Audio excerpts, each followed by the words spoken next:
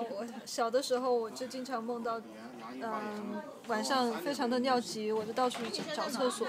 找到厕所要不是门打不开，要么就是太臭了，要么就是看到远远有个厕所一直走不过去，最后终于终于就想到说那就必须回家，就回家了，在自己家厕所那个门一打开，然后往上面一蹲，然后就舒服了。嗯，就做完了，梦也做完了，然后呢，也就尿床了，就这样。